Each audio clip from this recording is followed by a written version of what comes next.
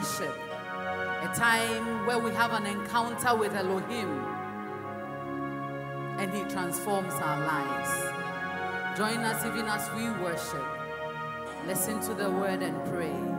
We believe it will be a fruitful time this afternoon. Amen.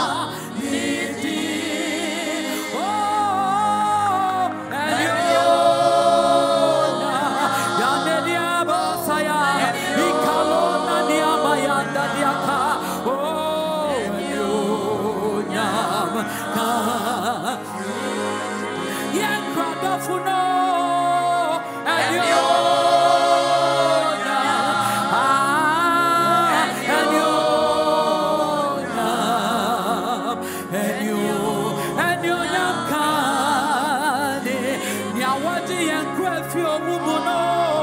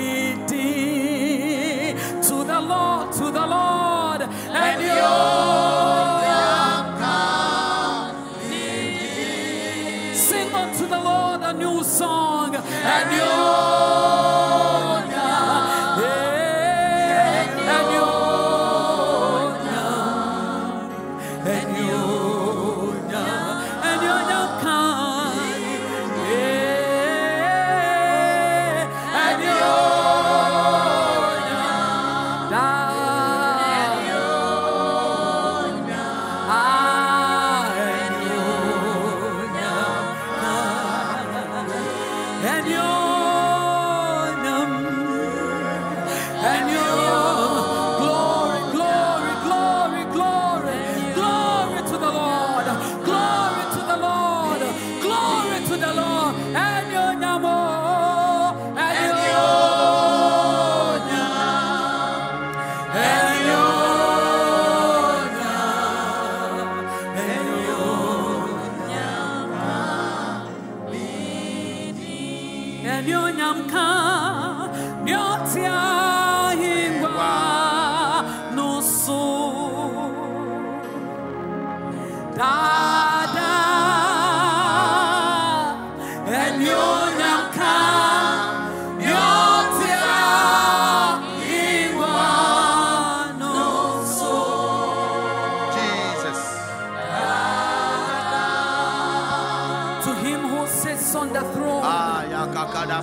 To the Lamb who reigns forever. bado shekepele bane. to the lamb who rules forever Be all glory, be all glory, be all glory, be all glory and honor. Jesus. Jesus. Jesus. We give you praise. We give you praise. Beloved, we want to thank God again for your life. We thank God for his mercies and his loving kindness. Welcome to Midday Springs. This is our day number two. It's been a blessing and thank you for keeping faith and joining us in this journey. We are in the book of Galatians and uh, today we are looking at Galatians chapter 2.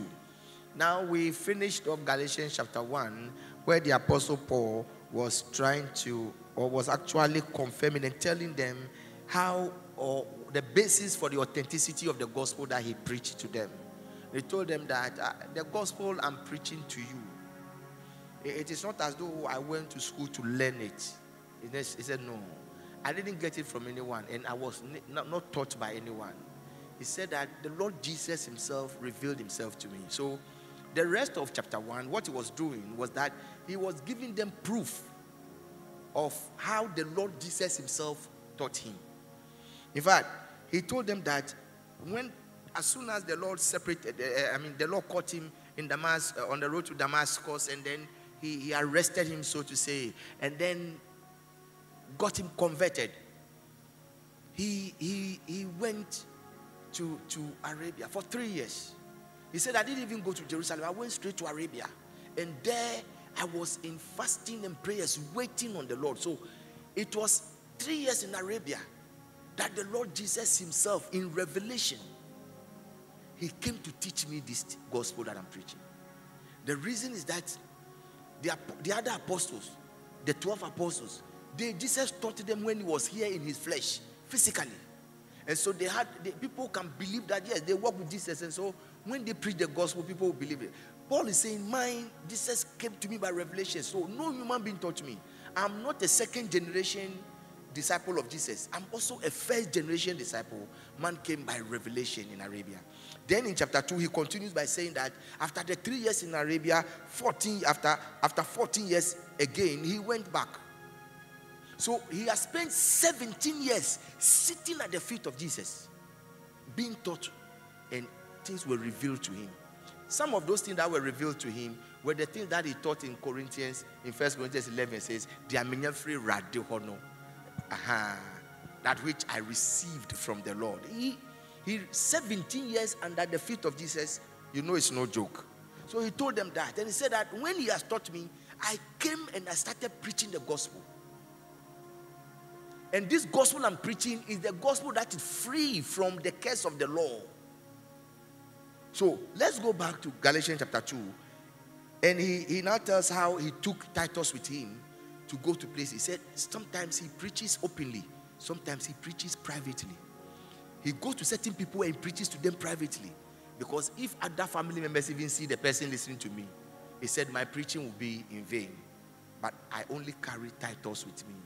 And Titus was a Greek, he was not a Jew, he was not a- a- a- an Israelite, he's a, he's a Greek. But he's the only one I carry with me. And he said, Because I believed in the liberty that Christ has given me, even though Titus was a Greek, I never compelled him to be circumcised. So, if I am preaching this gospel, this is what I believe. Let's read from verse 3. Titus, sorry, Galatians 2, 3 to 5, and then we'll come again and read 11 to 13. 3 to 5, and then 11 to 13. Galatians chapter 2, verse 3 to 5. Yet not even Titus, who was with me, being a Greek, was compelled to be circumcised. And this occurred because and this occurred because of false brethren, secretly brought in, whom came in by stealth to spy out our liberty, which we have in Christ Jesus, that they might bring us into bondage. Verse 5 To whom we did not yield submission, even for an hour, that the truth of the gospel might continue with you. Praise God. He, he said, see, sometimes this is what he's, he's, he's teaching us here, and sometimes we can take things for granted. When you sit at home and you are turning on the TV station, then you get to those people doing those things. Recently, I got somebody and they are doing sikedro like it's no joke.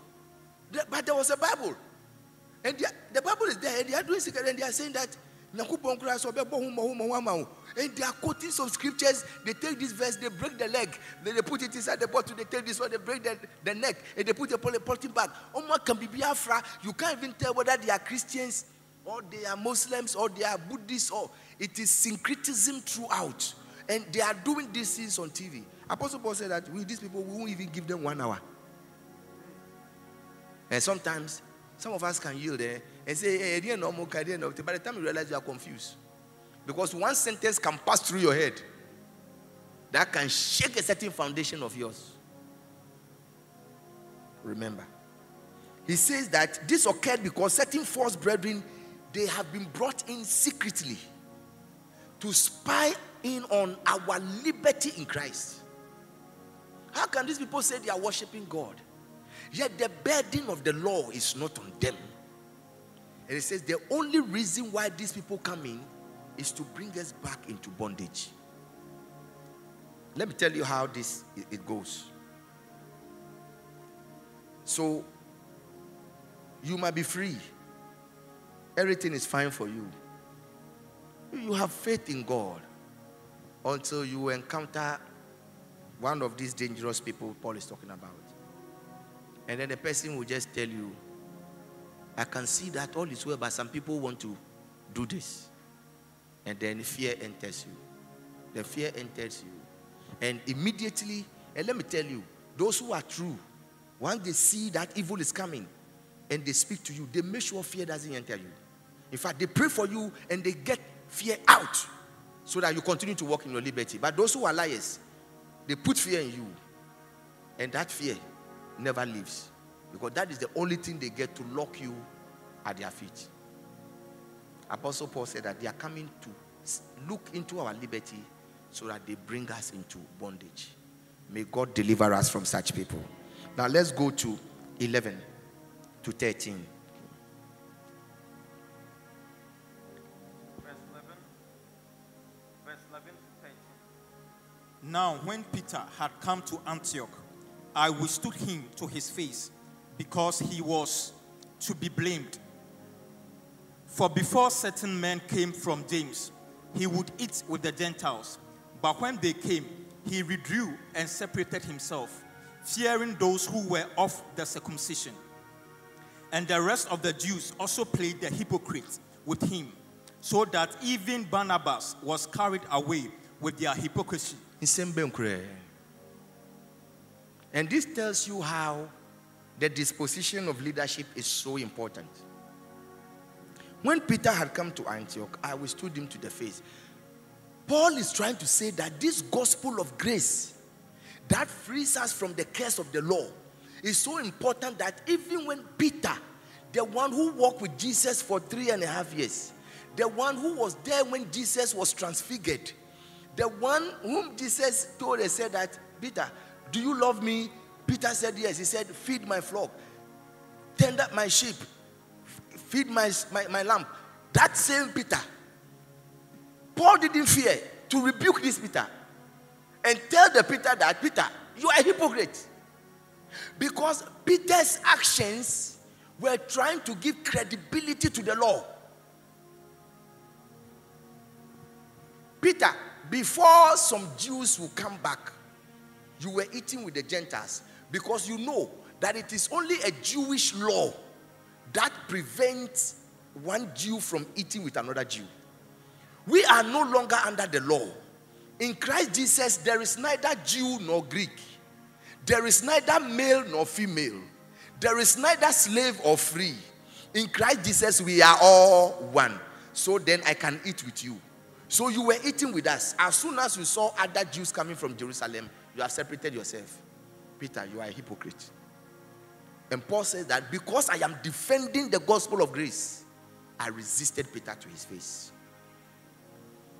Then he said, the rest of the Jews played the hypocrite with Peter.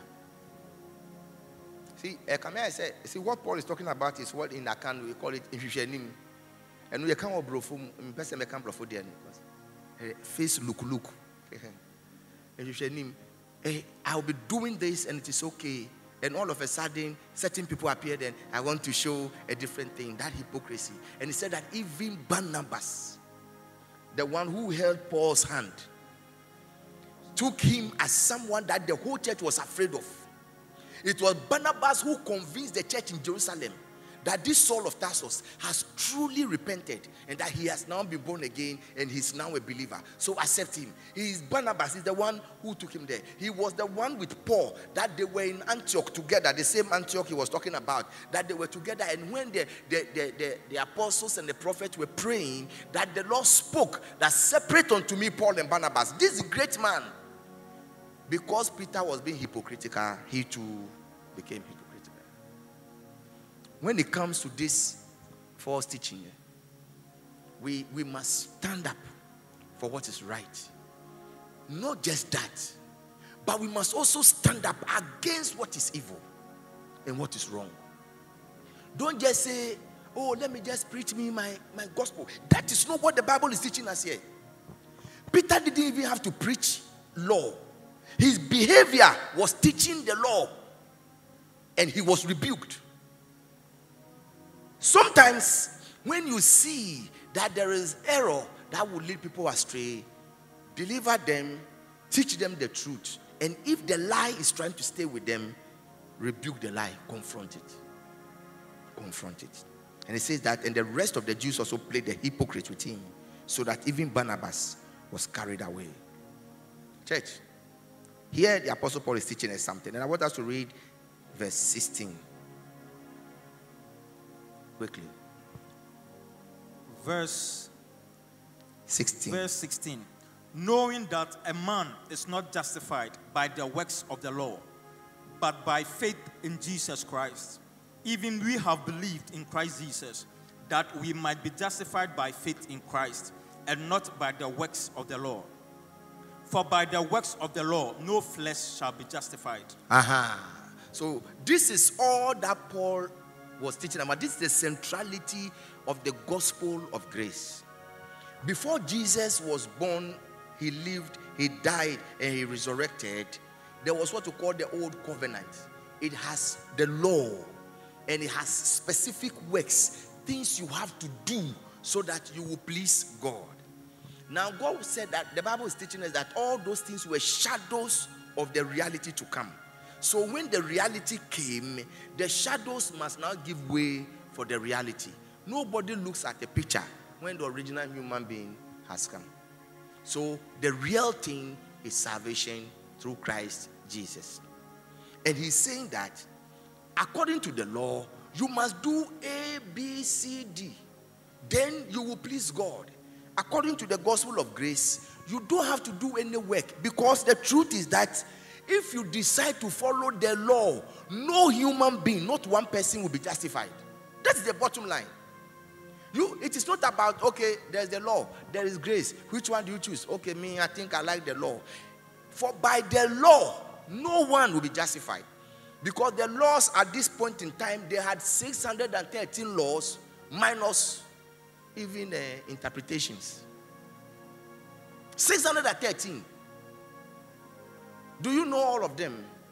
And can you keep all of them? And the Bible says that if you obey 612 and you offend in one, you have offended in all. So it says, for by the law, no one. So, what Jesus did was that his death on the cross is the one that has paid the price for my sins yesterday, today, and tomorrow. That I believe in him, his work that he, that he did for me on the cross is the one that has crossed all my sins, and that God doesn't look at the laws I have offended yesterday. He looks at what Jesus has done. He forgives my sin. I am born again. I am encouraged now to walk in the ways of righteousness. Nobody should force me that I must do this, I must do that, I must do that, I must be circumcised, I must eat on Sunday. I don't have to go to church on Friday, I don't have to go to church on Saturday, I don't have to go to church on Sunday. I must wear something white in the mornings like this and wear yellow in the afternoon. And then when it comes to this, I must kill a goat and I must pour some blood somewhere. That all those things don't matter. Knowing that a man is not justified by the words of the law, but by faith in Christ Jesus. Even we have believed in Christ Jesus that we might be justified by faith and not by the words of the law. For by the words of the law, no flesh shall be justified. Keep this truth and let it free you. Jesus has finished that work. You don't have to do anything else to, to get salvation. He's finished it. Justification and sanctification by the finished work of Christ Jesus is your portion. God bless you. Lift up your voice, child of God, and bless the name of the Lord for your word as you come out to us. We give you praise, Father. We give you praise, Father. We give you praise, Father. Thank you, thank you. Thank you, Jesus. Thank you, Jesus. La ba Eh, ba la ba. Haya koze kefenta eh laha koze kefele pente lemeni mao shantafala ha kuwa kaze taiba de shantafala madoseke le kao zatafa kataya ale fakezi fasenta yanana imani yako beke zente fele bede makeza tatata aye brase kafala mpayo baze. Yakabando le menisha kafanda pantomene akezata e afakoze kempele bene madeza kafo santataya e ambrose kehe yakabaze falsata fakambani madoshe katanta. E ampakole vedi madeshe kakeza kasonta fata. Ale fakazika proswa kia kazanto fakaya le kazata falianta paya madose kente paya. Fakanto lempe tenini ni koza. In the name of Jesus. In the name of Jesus. Beloved, we just heard from the reading that even Barnabas was led astray. We are going to pray and tell the Lord that He should grant us the grace that will look up to Him only. He looked at Peter and he was led astray. You can look at men and women of God who are in offices or who are in positions and you'll be led astray. You are asking for grace. Our Lord, grant us a grace that will always look up to you only. We'll look up to you as we read the word and we see in your word. We'll look up to you only that will not be led astray. Lift up a voice, out of God, and cry to the Lord uh, that He will grant you the grace uh, that as you study the word uh, and as you do that, Lord, uh, you look up to Him only. You look up to Him only. You look up to Him only. You look up to Him only. You look up to Him only. Rakava kelevele manabadubaha. That you will not be led astray. That you will not be led astray. Every wind of doctrine, uh, everything that they will bring towards you, Lord, grant you the grace that as you search the scriptures and you find Him, Lord, you will not be led astray. Rakava kelevele manabadosa. Alempa levele Let us look up to you, Lord. Looking up to you, Lord. Looking up to you, Lord.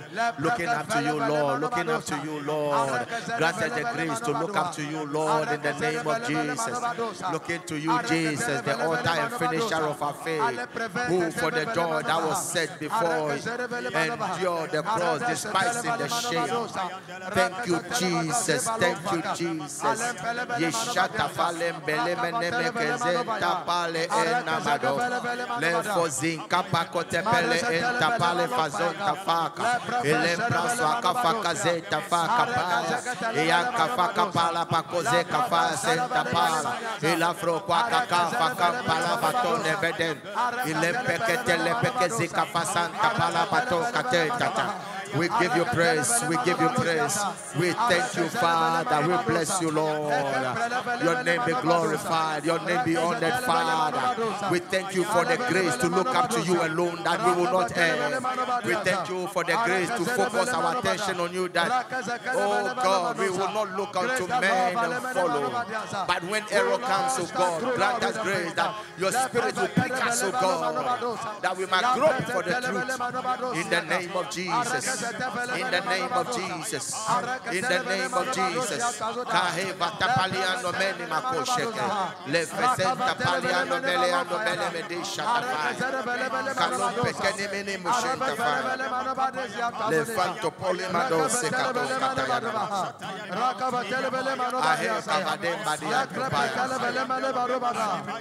Tapaliano meni mushenta fakaya. Kelendre swakafalia kopala mado shantaya.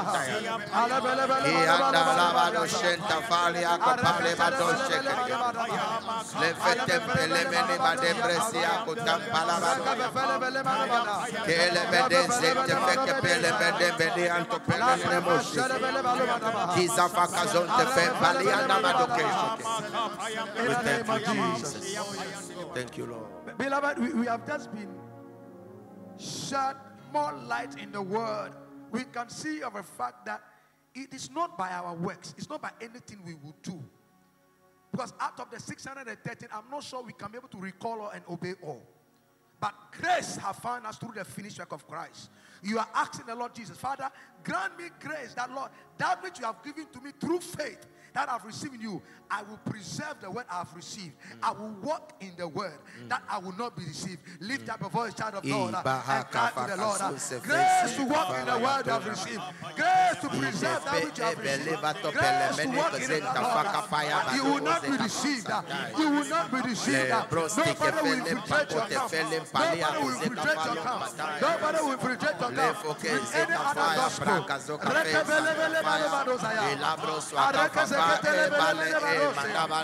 Le Le proswa ki flekem pele bele bele zato pele pe. Ila kufase kafalia ko pele batata ta. Ia proswa kafa bato pele mane mene sa. Ia kufase kafalia ko ze kafaya. Ia kufase kafalia kazata faya bale bade she. Lord, we ask you for kafa to bade continue in the word sakata. you have received. Thank you, will not be Jesus. Thank preserved you. Jesus. We will walk in the Thank you, Jesus. We will not allow ourselves to be ah, We will not allow ourselves to be deceived. For your work in our midst of your people. through grace we have been For your saved. Work in the midst of your people. Of your finished work, Lord. For your work in the midst of your people. Grace, grant us grace. For your work in the midst of your people. Yembelebedebe senta fale anta palada da bashenta fire. Yepale, belebede, seka fom, payam balabado. Lebre swako falia kazaka paya baloma de shanta fire. Yebre swaka faka paya bato pele namada. Elebedi mado seke pele pataya namado. Blessed be your holy name. Beloved, you want to pray and ask the Lord that He Himself, as the owner and builder of the church, He should expose all those who have infiltrated the church with all kinds of false doctrine, with all kinds of different gospels, not that which He left for us. He himself should expose them. He should shed his light on them. Eh. They should let their works be seen. That in themselves, oh, they will give up and run and will lift up a voice and cry to the Lord. That he should expose anyone, anyone who have infiltrated our camp with any kind of gospel, which is not the true gospel. God himself should expose them. Lift up a voice to the God and cry to the Lord that as you share his word, he himself should expose them. Thank the a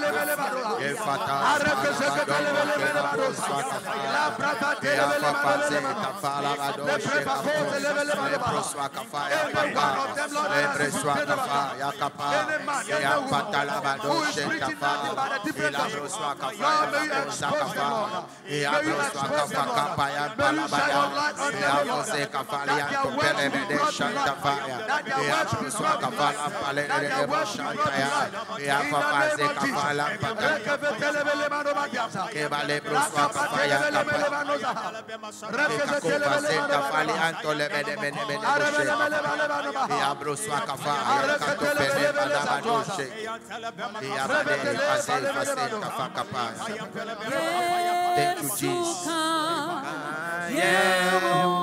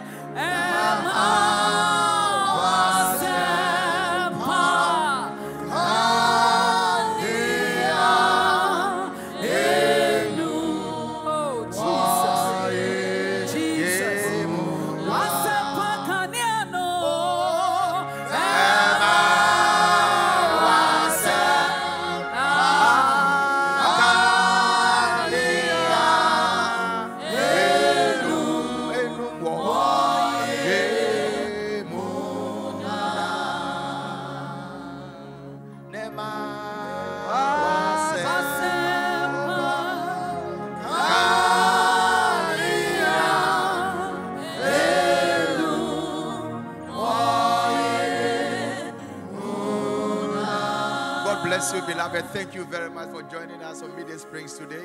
We thank God for your life and we trust that this moment have been a blessing to you. Continue studying the scriptures and continue in prayer. We trust that God willing, tomorrow, same time, same channel, same space, same platform will come your way again with Midday Springs. The Lord bless you and keep you, cause His face to shine upon you and be gracious upon you. In Jesus' mighty name, Amen. Música